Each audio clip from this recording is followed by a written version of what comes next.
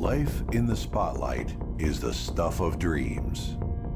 With the world at your feet, conquering the global stage can leave the biggest superstars feeling unstoppable.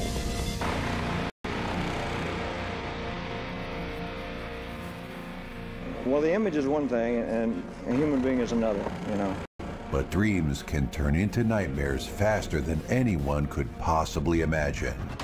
Uh, I didn't even have time to get drunk. I've only been about 15 minutes. This is it, and see you in July.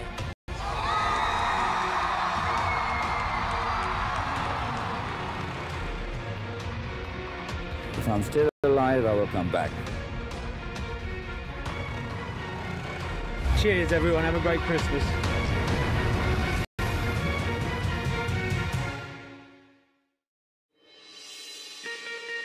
Join us as we take a look at 10 giants of the music industry that were taken from us. The artist Prince is dead. Some sudden, some unexpected, and some shrouded in mystery.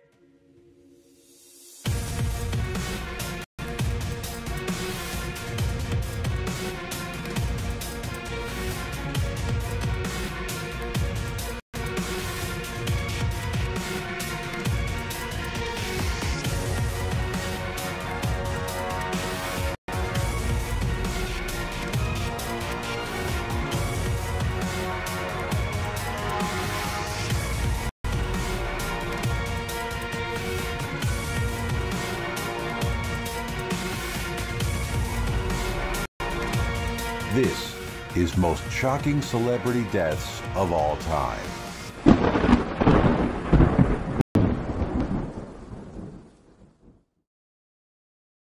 Number 10. Freddie Mercury.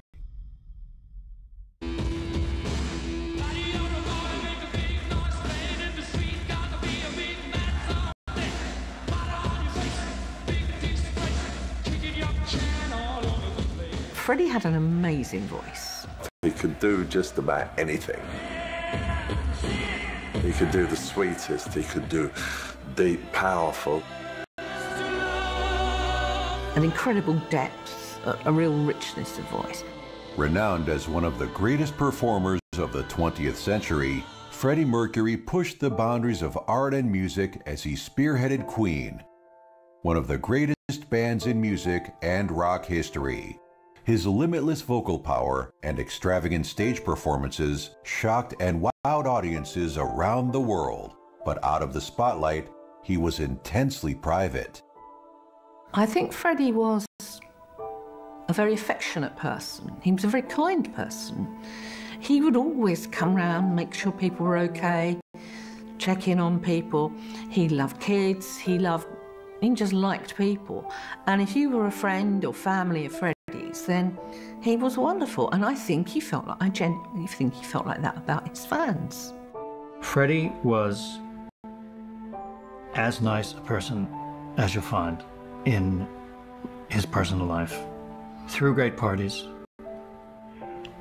um, had nice dinners, and uh, would go out with a couple of people to clubs and consume too much of life, as we know. But uh, he really was someone who lived to the full. In Heaven, nightclub, in early 1983, I had returned from the United States and I said, Have you adjusted your behavior in light of the new disease? Because it had no name then. And he said, with one of his flourishes, I'm doing everything with everybody. And I had that sinking feeling. There literally is a sinking feeling. I've had it twice in my life, and that was once. And I just felt at that moment, we're going to lose Fred. And I also thought that even though he's putting up this great front, probably in the back of his mind, he thinks it's too late. I think most people knew that he was ill. I think nobody really knew what was wrong or how long he'd been ill or how bad it was until pretty much at the end. It would be wrong of us not to say that, that he has been depicted in certain quarters as a sort of decadent, wild, bisexual, irresponsible lover. Yeah. So how, uh, what was actually the truth of that? Yes, that's very, that definitely makes us very angry because he was, certainly the Freddie we knew wasn't wildly promiscuous. He wasn't consumed by drugs, any of these things that people are saying. He was he had a very responsible attitude to everyone that he was close to, and he was a very generous and caring person to all the people that came through his life. And more than that, you can't ask, really. You know, he, as he moved from from a relationship to another one, he was always very, as I say, um, you know, aware of, of the effect he was having on people's lives. Freddie Mercury released a statement on November 23rd confirming the world's deepest fears. He said, I wish to confirm that I have been tested HIV positive and have AIDS, and I hope that everyone will join me, my doctors, and all those worldwide in the fight against this terrible disease. The next day, November 24th, 1991, he died. When Freddie died, that was the end of Queen. There was just great sadness. You felt that, like all the artists that die young, you say, well, what would have been? What would Freddie be doing now? If I'm still alive, I will come back. You know? Thank you very much. Okay. Thank you. Fine. Fine. Thank you. That's good. Fab. Oh, that's great. I wish all interviews were that short. Number 9. George Michael. Few artists come close to the superstardom of George Michael. In the early 80s, he conquered the world with the international popularity of Wham. He achieved hit after hit, and when the time came for him to become a solo artist, he didn't hold back and his fame just kept growing. But his fame came at a price. His personal life became a target for the press, and mounting pressure would lead George into a turbulent battle for his own reputation.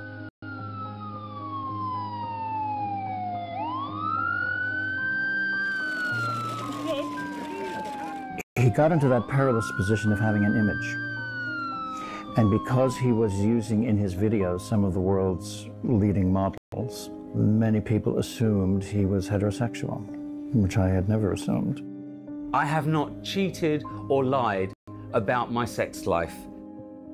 The fact that my private life is of ongoing interest to straight people is really not why I'm here. I'm here to say that when a story is written about you in the media and you deny that story, that deserves to be heard.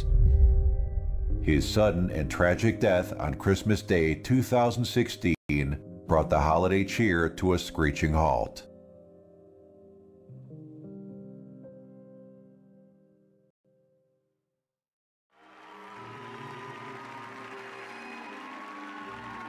Five years earlier, in November 2011, George Michael had brought his symphonic world tour to a stop as he became violently ill with pneumonia.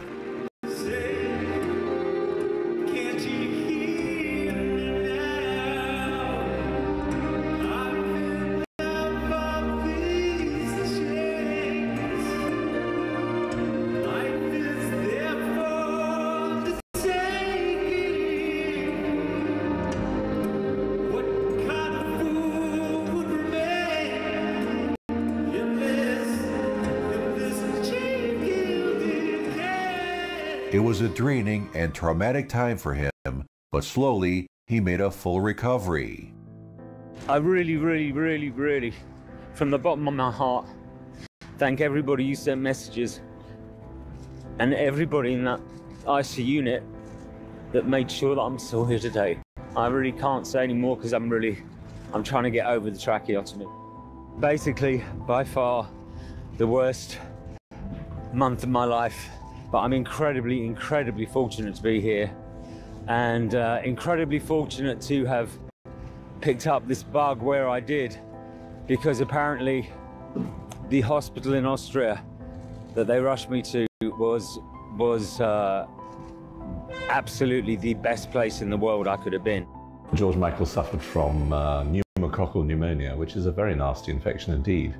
Uh, some of the figures that are coming out of the United States say that 5% of people who contract that particular sort of pneumonia will actually die from it.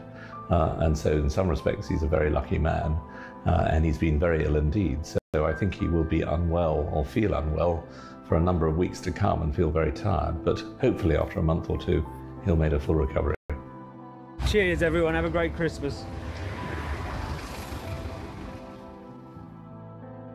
Sure, uh, I know what I read about George's health, but he never spoke to me about it. And uh, all that I or anyone could say, unless they were in the family or were very close, was that uh, he was having more frequent and more serious problems. Why this was happening, I can't be sure. But you always think that someone can turn around. And I, am still like this. I always think that someone can still turn it around, even if things are looking pretty bleak. And I thought that George could turn it around. Okay, we've got some breaking news uh, coming to us here via Thames Valley Police, who have confirmed the death of the singer George Michael at the age of 53.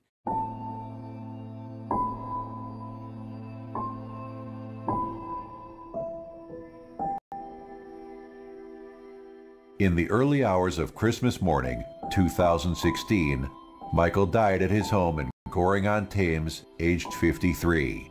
He was found dead, lying in bed, by his then partner, Fadi Fawaz. No cause of death was immediately determined, although his manager Michael Lippman conjectured that heart failure was the cause of death and that Michael passed away peacefully.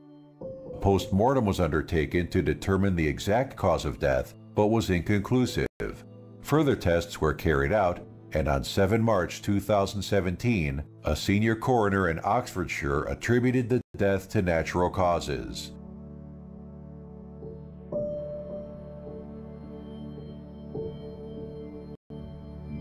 Even as the world comes to terms with his passing, the music of George Michael can still be heard.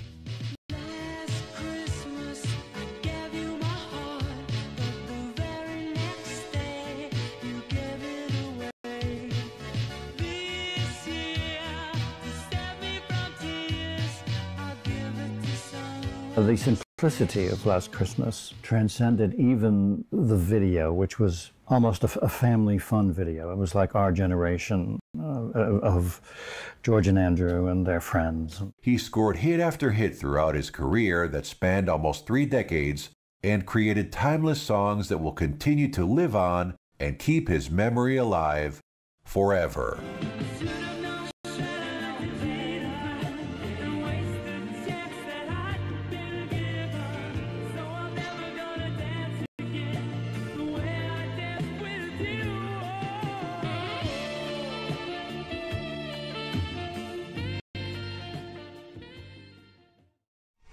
Number 8. Jim Morrison.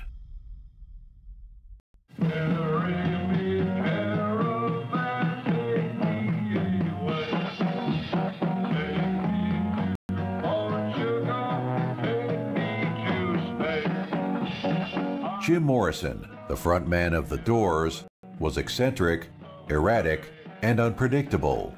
His distinctive voice and troubled artist persona captured the love of many adoring fans and solidified him as a rock and roll legend. But at just 27 years old, Jim Morrison would wander onto the streets of Paris and never be seen alive again.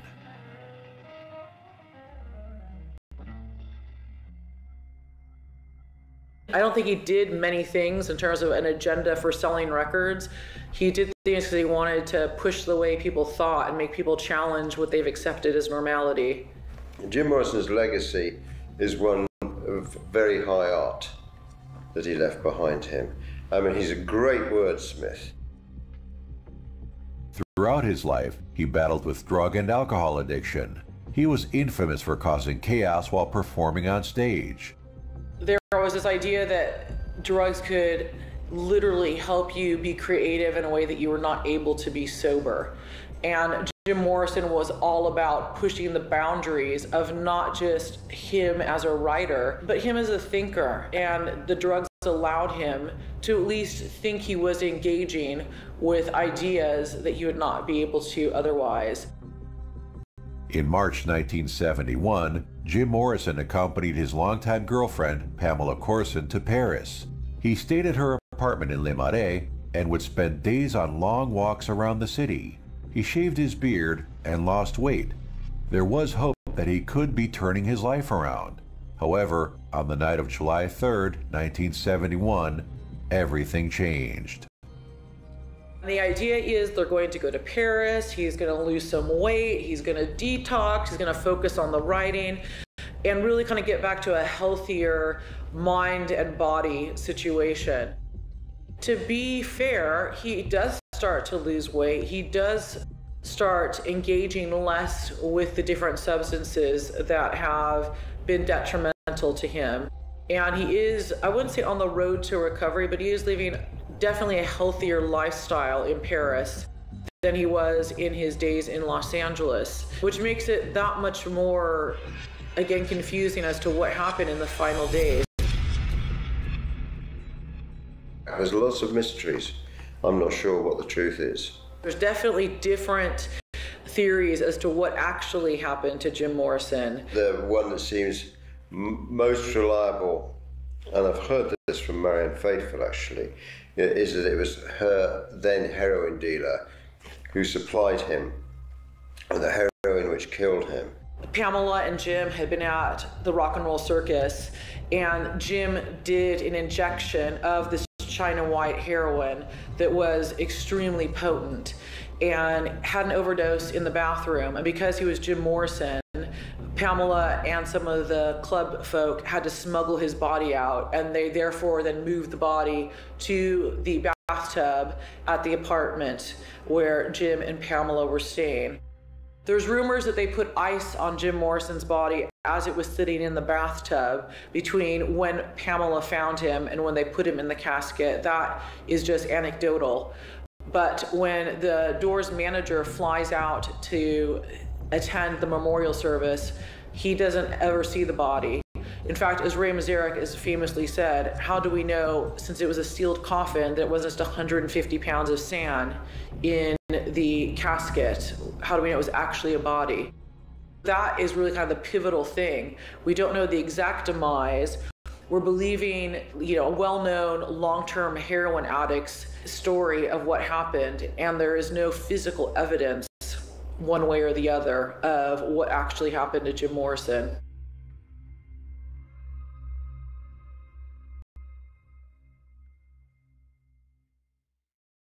Number 7. Amy Winehouse. Love is a losing game. Five story fire, yes. You can't. Love is a losing game. One I wish I never played. Oh, oh, what a mess we made. And now the final frame. Love is a losing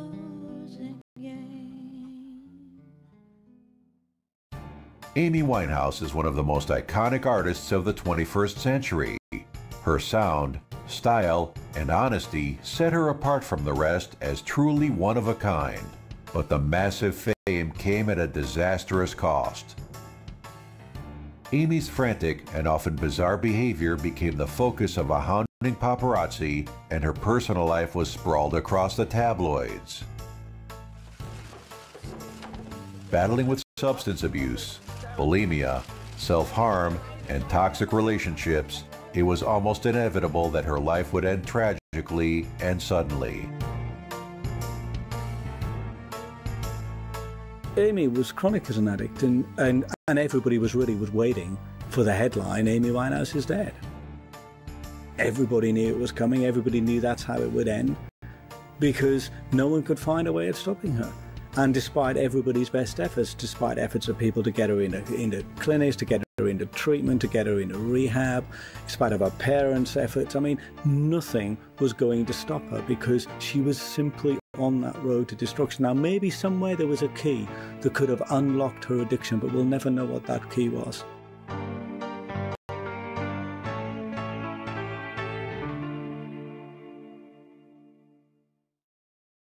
Music was so special because nobody else did it like her. The lyrics tore at your heartstrings. The voice, oh my god, the voice.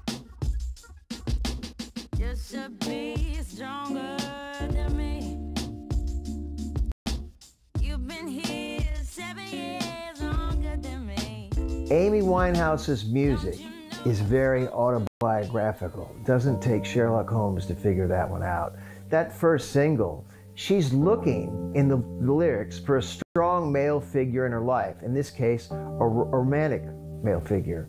But in real life, she was looking for a strong male figure the whole time. There's no doubt that Blake Fielder Civil was the love of Amy's life. I think when it was great, it was wonderful. I think she'd never experienced happiness like that. Also fair to say that she was the one who had the high-flying career. He was a runner um, for music videos. She loved him. She loved the way he looked. She loved the hats he wore. She thought that he was the male version of her. She thought he was perfection. Amy's friends and family have blamed Blake for introducing her to hard drugs. But every addict is introduced by someone, and ultimately, Amy continued to take drugs. She seemed to have a very addictive personality. And it seemed that they could, and they both said as much, they couldn't be with each other, they couldn't be without each other, they almost loved too much. Um, and they've been compared to Sid Vicious and Nancy many times. They just, the feelings were so strong. 18th June 2011, Belgrade, Serbia. What was supposed to be a triumphant comeback tour turns into a nightmare. Amy struggles to stand up, slurs her words, and doesn't even get through a single song.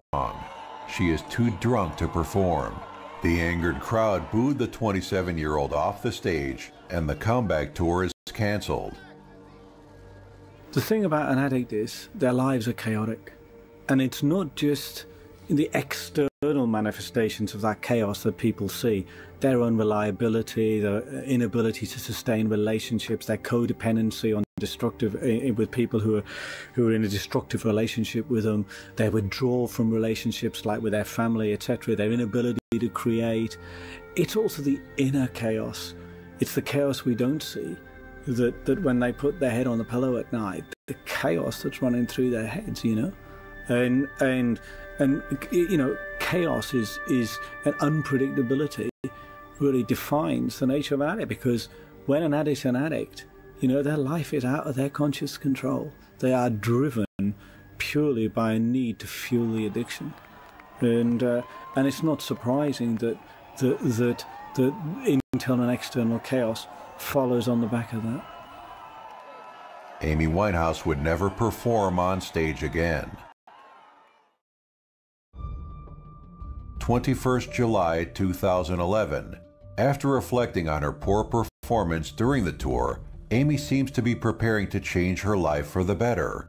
She makes a number of phone calls to her friends and fellow musicians, promising a better and brighter future. She discusses plans, hopes, and her goals. She had a purpose again. This was not a woman on the brink of suicide.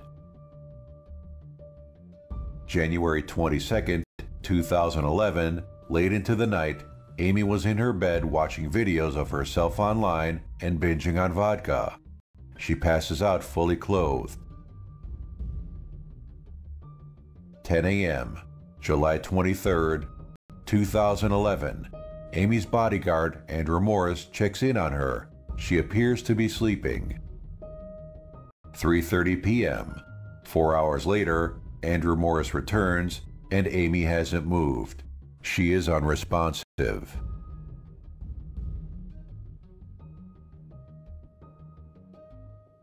Three fifty-four p.m.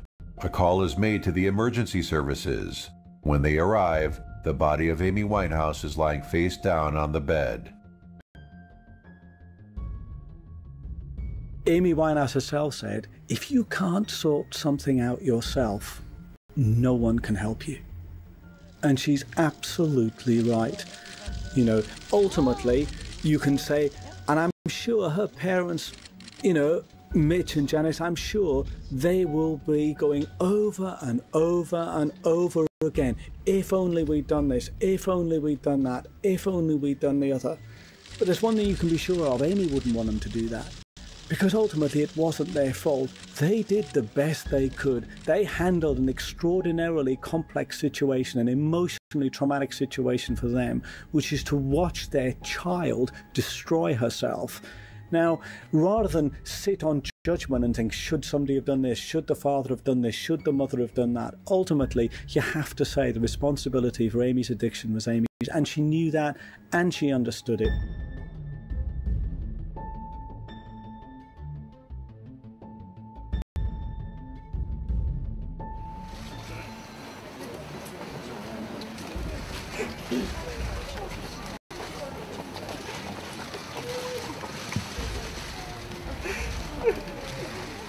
Turbulent life of the young star is over.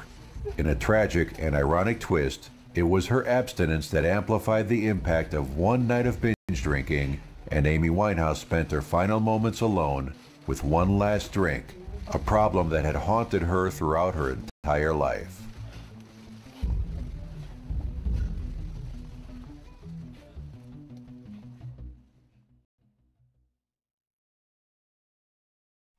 Number 6. Jimi Hendrix.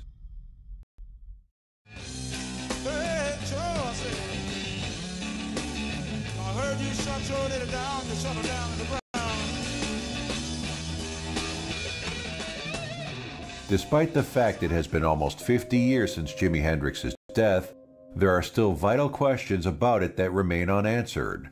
About two weeks before his death, he did a uh, interview with a Danish reporter, and uh, out of the blue, uh, he said to the reporter, "I doubt I'll live to be 28 years old." Now it's been said for the for 30 years that Jimi Hendrix choked on his own vomit. It was said that he died of a heroin over, overdose. Of course, none of that's true. It is now clear that Hendrix had premonitions about his death, was aware he was in danger, and that he was being closely monitored by the U.S. government. The 1960s were a time of political unrest and activism. Riots as a result of the Vietnam War, the rise of groups such as the Black Panthers, and a new youth culture made the government uneasy and paranoid. The Black Panther movement tried to get hold of him at great length. And he did do a little kind of like surreptitious work for him, but he, his heart wasn't in it. He wasn't really a political animal at all. He was a musical animal. We had a, a rising youth movement in the United States that was predominantly left wing, right, that opposed the Vietnam War and the administration, right, and they had the potential of becoming violent and disrupting the society. Uh, J. Edgar Hoover suspected that they even had communist support, right? So the interest of the CIA was to put down the youth movement.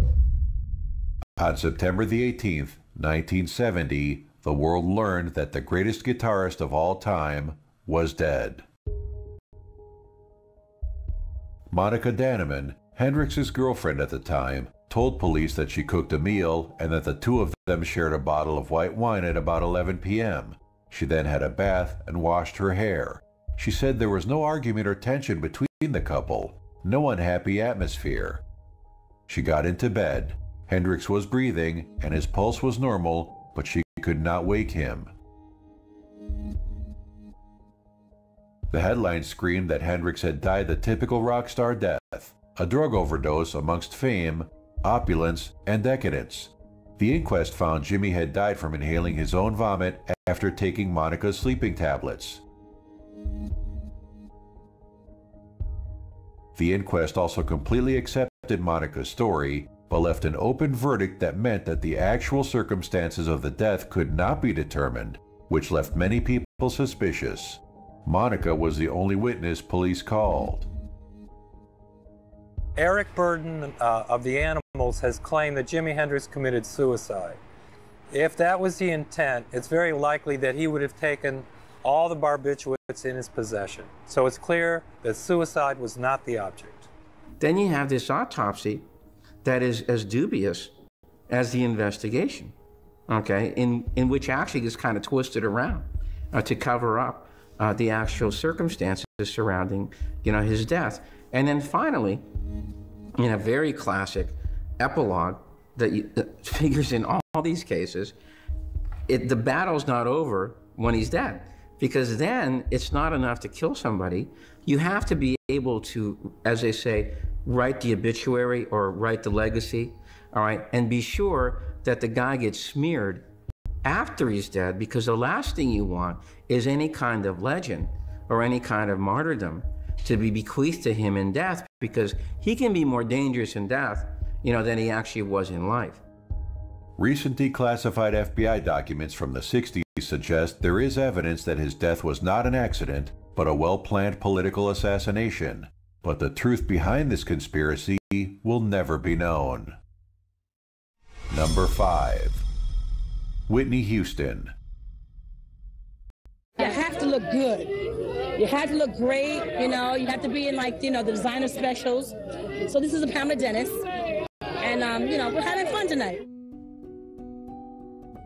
Born with music in her DNA, nothing could have prepared the model turned singer from New Jersey for the superstardom that was to come her way.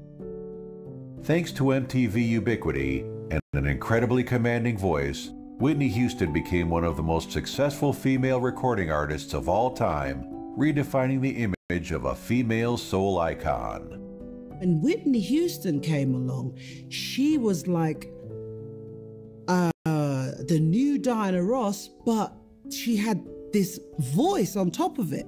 So you had this girl that looked like a supermodel, but then she had this incredible voice. And that package, everyone was just like, oh my goodness, it's outrageous. Who is this girl? You know, she's amazing. It's an undescribable feeling. You know, it's like a surge of energy. It's like um, just taking off and just flying. You know, when they when I see them and the people and they're excited and they're you know there and they're into it and everything. I mean, gives you a lot of energy and a lot of encouragement, and that's great. In the late 90s and early 2000s, Whitney's increasingly rocky marriage, struggles with drugs, and health problems threatened to derail her career. So people were talking about Whitney Houston in a negative context. And of course, all of that culminated with the headline in 2000 where Whitney had been caught with marijuana in her hand luggage after being stopped leaving Hawaii airport. And I think you could argue that that was a true turning point in her personal life as opposed to her music career.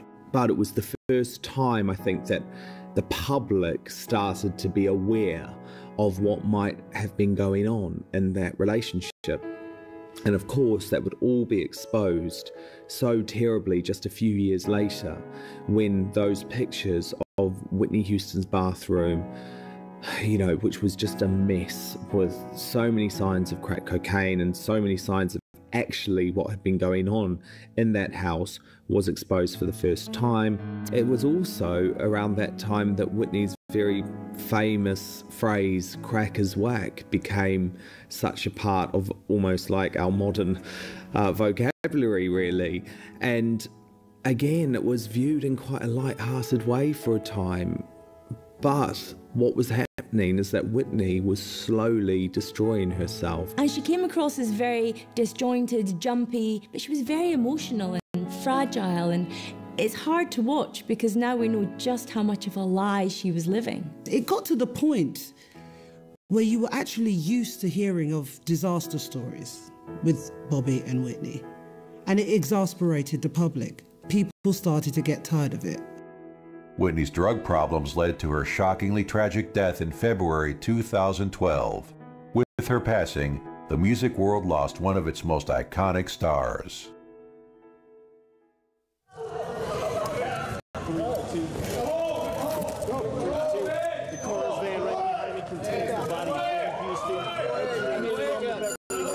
On February 11, 2012, Houston was found dead in the Beverly Hilton, Beverly Hills, California. The coroner's report showed that she had accidentally drowned in the bathtub with heart disease and cocaine use as contributing factors. Singer Whitney Houston, one of the greatest voices of our generation, CNN has gotten confirmation from a representative, has died. Fire department and hotel security were already attempting resuscitation measures. But at 3.55 p.m. this afternoon, Whitney Houston was pronounced dead at the Beverly Hilton Hotel. Whitney's death, I think, is going to absolutely be one of those moments where we all remember, or definitely fans of Whitney all remember where we were. Whitney Houston was already deceased when she uh, slipped into that bath. She did not die from drowning. In fact, she died from most likely a combination of prescription drugs mixed with alcohol. It's so tragic and it's so ridiculously ironic that Whitney Houston would die in Suite 434 of the Beverly Hills Hotel, the very hotel where she would take to the stage on a Saturday night for Grammys weekend at the party hosted by her mentor, her father figure, the man that put her on the musical map worldwide, Clive Davis. You've all learned of the unspeakably tragic news of our beloved Whitney's passing. I don't have to mask my emotions. I do have a very heavy heart, and I am personally devastated by the loss of someone who was meant so much to me for so many years. Whitney was so full of life. She loved music, and she loved this night that celebrates music. Whitney was a beautiful person, and she had a talent beyond compare. She graced this stage with her regal presence. Whitney would have wanted the music to go on, and her family asked that we carry on.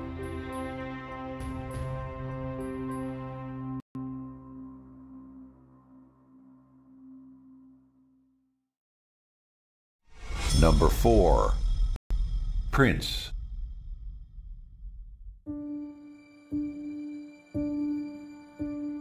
Prince transcended music. From song to song, he transformed and innovated.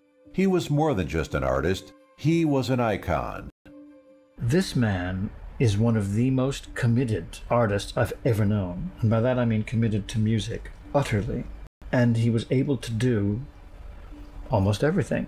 To say that he was prolific would be an understatement. His genius was unrestrained, it was unstoppable. One of Prince's greatest talents as an artist was to connect, to engage, to compel. People couldn't look away from his music. But Prince was not untouchable. In the years leading up to his death, the superstar began to appear increasingly frail, and a series of dramatic events would lead up to those devastating final moments. The months leading up to Prince's death is is an extraordinary tale in itself. At the beginning of April, he he cancelled a couple of concerts, uh, ostensibly because he was poorly, or but it was actually to give him time to recover from what was then an, an, an opioid addiction. Opioid addiction, in its final stages, breaks down all the body's physical and mental systems. Emotionally, the opioid addict is depressed, anxious, angry, confused. Physically, all the major organs are affected the heart, the brain, and eventually everything breaks down. And the addict dies. So the last moments of Prince's life was spent in the lift at his home. And it's said that he overdosed on fentanyl. Now, fentanyl is a synthetic opioid. It's like 50 times more powerful than morphine. It's an incredibly potent opioid. Uh, and it's used for, as all opioids are, uh, principally for, for pain relief. And, uh, but what opioids can do is they can slow the breathing, can slow the, the body system down, can lead to lightheadedness, can cause you to faint, drift into unconsciousness, coma, and death. So we can speculate that maybe Prince left the recording studio feeling faint, perhaps lightheaded, maybe a bit unsteady on his feet, thinking he might just take himself to bed, rest, sleep it off, get up the following day and continue what he was doing. Because he was notorious for his work ethic. He would work, you know, all hours God sends. He was an incredibly resilient and ferocious in his work ethic. But he may have felt it was too much, so he may have felt tired, sleepy, exhausted. Maybe he got in the lift. Who knows? He may just have rested against the side of the lift, back of the lift, and and and thought, oh, I just feel tired. And he may have drifted into unconsciousness, then drifted into a coma, and then died. And that's probably the most likely sequence of events that uh, would have made up the, the last moments of Prince's life.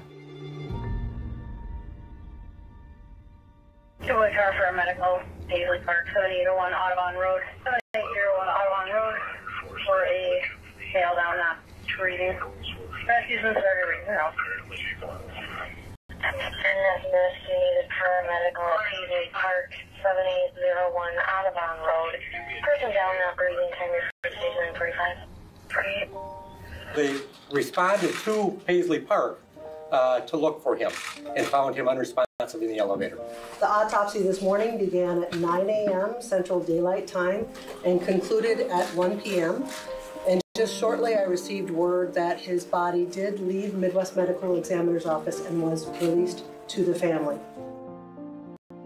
I get the impression that no one need worry that they did not get the best of Prince. Because the best of Prince, it would appear to me, was not what he held back, but what he gave out. So, in fact, we all got the best of Prince. The loss of a cultural icon such as Prince rocked the world, but perhaps most unsettling of all is that he was completely unaware that the medication he was taking was incredibly dangerous. Nevertheless, the musician never held back, always gave a show, and always gave his all. His life was a party, and parties aren't meant to last.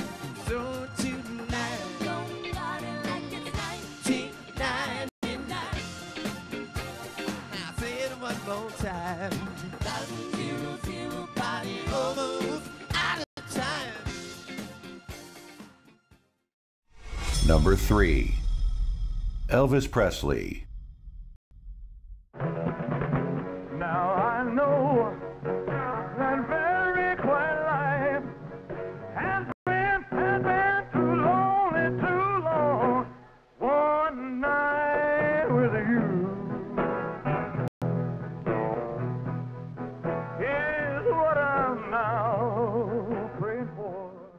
My first impression when I met Elvis in 1958 was it was hard to believe that this was such a superstar. He was such a natural, good person, attentive, caring, a warm guy. Just when you talk to him, he just talked to you like my cousin Red talked to me or some of the other guys, and he just was he I don't know. There was something about him that just drew you in. He was amazing. Uh, his looks and his name alone, just Elvis Presley. Who ever heard the name Elvis? Few people came close to the superstardom of Elvis Presley, but despite his powerful presence and historic hips, the king was battling a dark and dangerous life with addiction. I said, You're going to die. I said, You cannot keep like you're going. You're going to die. Elvis did everything to excess. He had massive appetites for food, sex, drugs, and rock and roll. In his latter years, Elvis embarked on a rigorous touring schedule organized by his manager, Colonel Tom Parker. No one was in any doubt that the drugs and ensuing health problems had changed Elvis mentally and physically. In 1975, what I had been seeing a little bit of the previous year or so was getting worse, and I was very concerned about his health. It wasn't like it had been before when he was taking the uppers and the sleeping pills. When he started experimenting with the, you know, the down stuff, that's when we started getting concerned, all of us, not just me. These were prescription drugs. Now, the doctor's writing them for him. He's abusing them, but they're not illegal drugs in his mind. 6 a.m., 16th August 1977. Elvis was restless. He told his then girlfriend Ginger Alden that he was going to read in the bathroom. 2 p.m., Ginger woke up and went to the bathroom to check if Elvis was okay. She discovered the lifeless body of the king on the bathroom floor. Got up the next day, came to the house about 12 noon, uh, this the 16th, and uh, about 2 o'clock, the phone rings, intercom, and one of the maids picks up the phone, and it's Ginger. She says, Come upstairs, I need help. Elvis fainted. So I ran upstairs. I go into the ba- bathroom, and uh, Elvis fell over. He was laying in, on the floor. Uh, I turned him over, and uh, I knew I knew he was dead. I just knew it. Just, but I was hoping he wasn't. I picked up the phone, called the operator. They didn't have 911 at that time, and uh, said we need an ambulance here at Elvis Presley's house. And I didn't tell who it was. And meanwhile, I couldn't do mouth-to-mouth resuscitation because Elvis' mouth was closed shut. There was no way possible. There's rumors I did that, but somebody made that story up. Uh, I was trying to massage his heart as well as I could, and uh, it just seemed forever. People were all coming up there, and uh, it was pandemonium. The ambulance finally showed up, and it seemed forever. And I found out later it was like 20 minutes before they got there. We got him into the ambulance. Uh, stretcher came, got him down the ambulance. I jumped in the back of the ambulance, uh, all the way to the hospital. Uh, we're trying, we're talking to him, and uh, we get to the hospital real quick, the Baptist hospital. Got there and they rushed him into the emergency room. I tell you, it was it was tough. And uh, 30 minutes later, about 30 minutes, I would think, doctor came into the room and he said, Elvis has left. Elvis is gone. And we all broke down and we all hugged each other. And uh, it was, uh, you know, very, you know, very emotional time naturally. We were, you know, still in a state of shock even when you think about it. We never thought this could ever happen. In his short lifetime, Elvis became an icon that will never die. To this day, he is the best selling single artist of all time and is hundreds of millions of record sales ahead of artists such as Michael Jackson or Madonna. Over 650,000 fans still visit Graceland each year to feel closer to Elvis at what is now a national historical landmark of one of the most influential artists of all time. Are you satisfied with the image you've established? Uh, uh, well, the image is one thing, and a human being is another, you know. Number two, John Lennon. Yeah, you know, I just say, but whatever, violence begets violence, and uh, you know, I just I don't believe in anything else, and I don't believe there's any park or anything worth getting shot for. In 1980, John Lennon, age 40, was one of the world's most idolized musicians and political activists. Through his promotion of love, peace, and equality, John Lennon became an icon of the 20th century. His practice of music allowed him to spread the word of peace and love all across the globe, but his overwhelming fame would come at a cost, ultimately ending in the sudden and tragic death of this international icon. He loved America, but he didn't like the Vietnam War. He didn't like what the FBI were doing to him. He believed in self expression. And the greatest tragedy really is his, was his death. He was seen as somebody that the FBI wanted out of the country, and in fact, at one point, he was asked to leave the country. John Lennon was living with his wife, Yoko Ono, in the iconic apartment building, the Dakota, on West 72nd Street on the Upper West Side of Manhattan, New York City. After a long recording session, the couple were making their way home. It was December 8th, 1980. And then the fateful moment came. John Lennon pulls up outside his apartment in a limousine. They parked the limousine on the curb right outside the Dakota. There is a driveway into which they might have gone, but on this occasion did not. 10:50 p.m. Lennon steps out of his limousine holding his wife's hand. Oblivious, he takes what are about to be his final steps. A voice calls out to him, Mr. Lennon, it is a madman with a gun. I heard this voice. Not an audible voice, but an inaudible voice saying over and over, Do it, do it, do it, do it. I guess that was me inside. And I pulled the 38 revolver out of my pocket. Behind him and called to him, Mr. Lennon, as he arrived at that doorway. And then in a combat stance, Fired at his back. Five steady shots.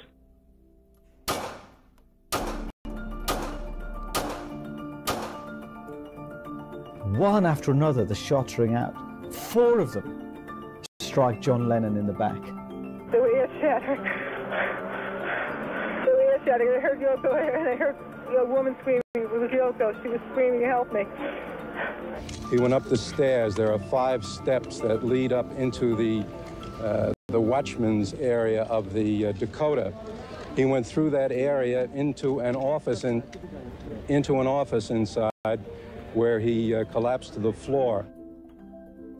The killer was Mark David Chapman, a 26 year old who was perversely obsessed with the former Beatle. What's extraordinary about Mark Chapman is how he got his identity completely confused with that of John Lennon. On his last day at work, he signed himself out as John Lennon. He was quoted as saying he was obsessed with killing John Lennon. Simply so, in his words, I could be somebody, he said. I could be somebody. Or another phrase he used was, so I could acquire his fame. And there's a chilling photograph of John Lennon signing an autograph for Mark Chapman just a few hours before his death. And Chapman later said, you know, even prayed maybe for somebody to stop him from killing John Lennon, but he couldn't stop. John Lennon fell into a very deep hole, a hole that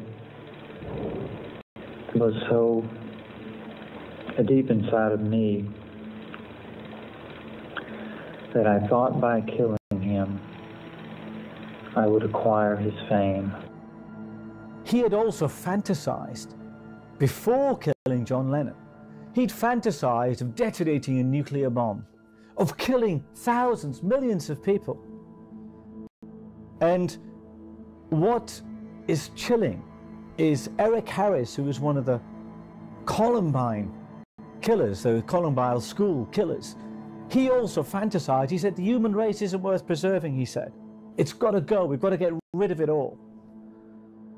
And these fantasies of destroying everything so that these people who live in what can only be described as a psychological pit of inadequacy and emotional dysfunction and sociopathic behaviors can only find meaning through killing, through fantasies of killing, and through then taking those fantasies into reality. It's now 14 hours since John Lennon was shot here at the entrance to the Dakota building on West 72nd Street in the center of New York. And in those 14 hours, there's been a crowd here standing in more or less silent vigil. And the flowers have been piling up at the gate. John Lennon's legacy will forever be remembered. His music and statements reached people across the globe, inspiring people to stand up and spread the word of peace. The young, unfortunate child from Liverpool had developed into a cultural icon that lives forever in the history books. I'm using my money and my time to promote peace. And when the money runs out the time runs out, we should have peace by then. Number 1 Michael Jackson. Whatever you think of Michael Jackson, one thing you have to concede is that he was an extraordinary performer. One of the greatest performers, not just of his generation, but of any generation.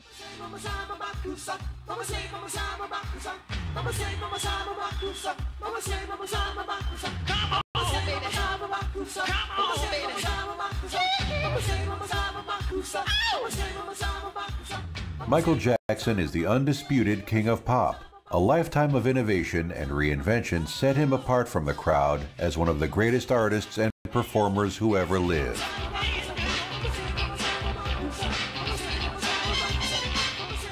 But on June 25, 2009, at the age of 50, Michael Jackson would be dead.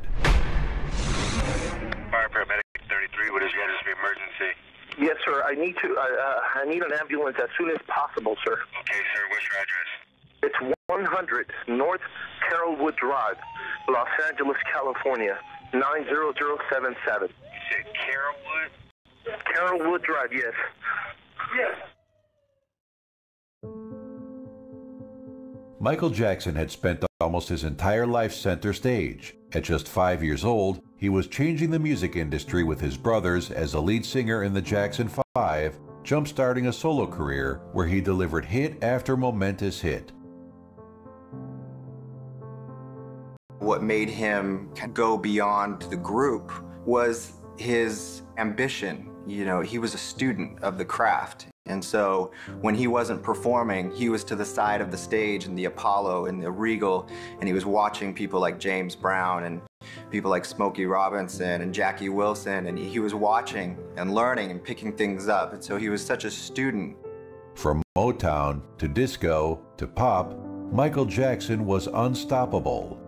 But a key event in 1984 would impact the course of Jackson's life forever.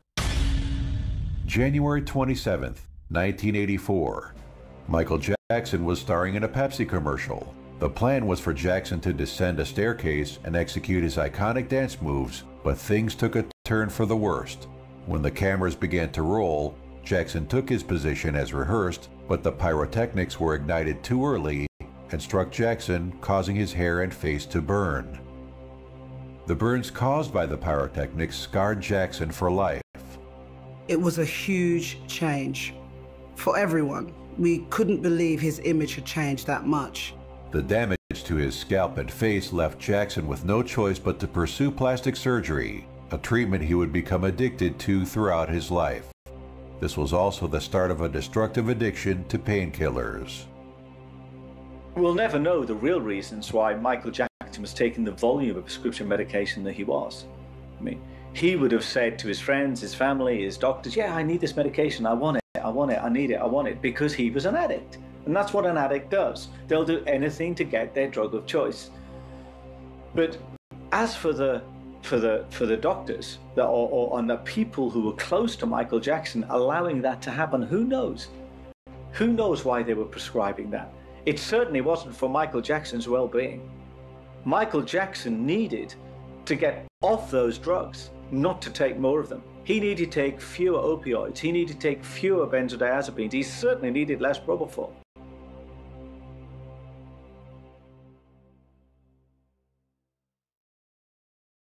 Jackson made a deal with AEG Live to perform a series of 50 concerts in a final curtain call concert residency at the London O2 Arena. This is it. I mean, this is really it. This is the final, this is the final curtain call. 1 a.m., June 25th, 2009. At Michael Jackson's Los Angeles home, Dr. Conrad Murray is sat by the star's bedside as Jackson lies awake in bed, unable to sleep. Jackson begs Murray for a dose of propofol to send him to sleep, and at first the doctor resists. After 60 consecutive nights of administering the drug, Murray tries to stand his ground, but Jackson continues to beg, expressing his agony and discomfort. Finally, Dr. Murray surrenders and administers Jackson the propofol. 1:30 a.m. Despite having been administered propofol, Jackson is still awake. His excessive use of this highly dangerous drug has left his body almost immune to its effects. Dr. Murray gives Jackson 10 milligrams of Valium and waits by his bedside.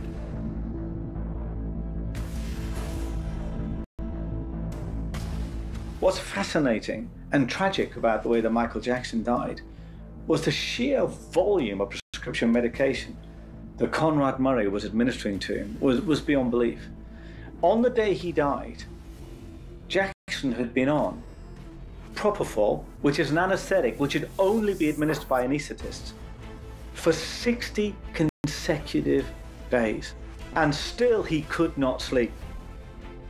And that's because, like with all drugs, prescription drugs, synthetic drugs, illegal drugs, natural drugs, whatever type of drug you are taking, the brain develops tolerance. So the effect you get when you first take the drug is not the effect you get for the, on the hundreds or the 200s or the 500s or the thousands time. So you need more and more and more and more of the drug. And the pleasure and relief you got from taking the drug to begin with turns into pain and distress. So you take the drug no longer for pleasure, but simply to stop feeling pain. Michael Jackson undoubtedly was in extraordinary emotional pain and stress because of his lifestyle, his life, and, and the comeback tour. And also, he was putting an enormous physical stress on his on his body. So he had physical pain and emotional pain to contend with, and he just wanted to sleep. 10:20 a.m. With Jackson still awake and in visible agony, Dr. Conrad Murray makes a final, fatal decision. He administers a further 25 milligrams of propofol to Michael Jackson. The king of pop finally falls into a deep sleep. So Michael Jackson might have struggled for breath. Slowly, he might have suffocated, gradually losing consciousness until the moment came when his heart stopped. The powerful cocktail of drugs inside Jackson's body has now become lethal, and he goes into cardiac arrest. Paramedics arrive at the scene, but Dr. Murray can no longer detect a pulse. The legend of Michael Jackson comes to a shocking end. He is pronounced dead at the Ronald Reagan UCLA Medical Center.